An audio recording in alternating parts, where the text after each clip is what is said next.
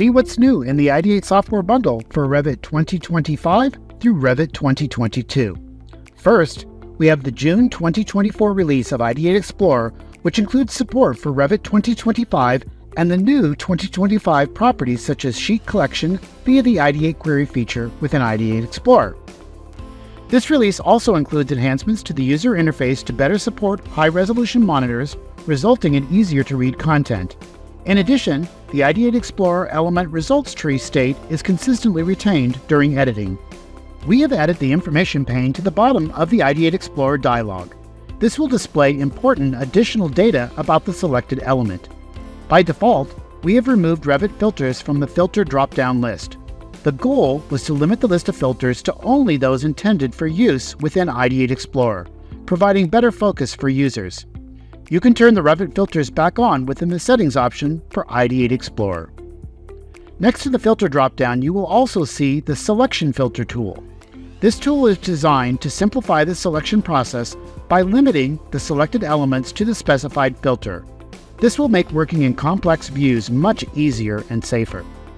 You can also use this new selection filter tool on the fly when you select a category. Choosing to filter by category, I will only select elements within the door category. We've enhanced the ability to report on linked data for both Ideate Explorer and Ideate BIMLink. In Ideate Explorer, via Ideate Query, you have additional data available for host elements that can assist you in making informed decisions. In Ideate BIMLink, we've added additional information for hosted and tagged elements. Review the QC, tags, tagged element link definition within the delivered sample library for examples of additional properties available via Ideate BIMLink. We've added the ability to report on the view range information within views. Review the QC, views, range for examples such as view range top level and view range depth. We have a number of Ideate BIMLink definitions that are specific to Revit families. We've added text, RFA, in the library to showcase additional properties available for managing the text in Revit families. Ideate Apps has many important enhancements.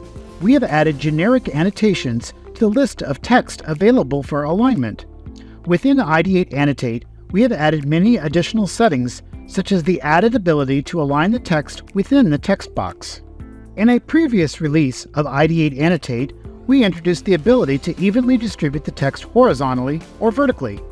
We now have new settings that allow you to control the spacing between text notes, which gives you the option to distribute from the top down or bottom up. Access to those settings are available within the drop-down selections and are also available on the main Ideate Annotate settings options. When aligning text, you also have the option to align the text within the text box to match the alignment settings.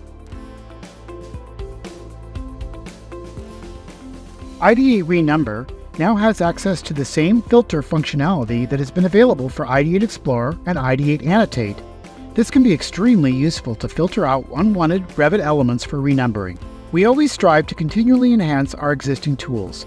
We've added three new visibility checks to our Ideate X-ray tool for added visibility management. In addition to the many new features of Ideate View Creator that are highlighted in a separate video, we've also enhanced the Ideate Sheet Manager with a new Renumber Down option that makes quick work of renumbering sheets in sequence. Because of the many new features within Ideate apps, we have created a separate video to showcase many new workflows in Ideate View Creator. Be sure to review the video, create multiple views and sheets at the beginning of a project. In the latest release of Ideate Automation, we have introduced enhancements that aim to elevate your experience.